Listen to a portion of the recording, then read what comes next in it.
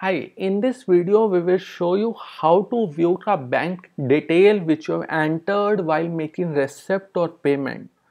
If you make a receipt or a payment for a particular customer, suppose I'm going to make the receipt for this customer, receipt from customer, I have select a bank, payment mode, how did he make the payment, suppose he has made the payment via UPI you then type the reference number. I'm going to type his uh, email id uh, his upi id is for suresh. This id at the rate okay icici any anything. How did he make the payments? For icici bank. Anything you want to type you can type it here and uh, save it. So your receipt has been created but now how to view the information? The how did he make the payment? Or you want to verify the transaction number?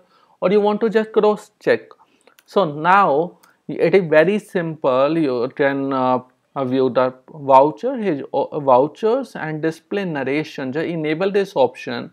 It will show you here made the payment via this bank name anything whatever you have mentioned in there you can view it if you don't remember the account name no problem. You can view for the everybody by selecting a sundry debtors. It will show you for everybody. Example this person I made payment via wallet. It will show you. If this person I made payment via UPI it will show you the details. So now you can view the banking detail of receipt and payments as well in the ledger report. So if you want to use this feature just download the latest update. And if you need some help just write us an email. Thank you very much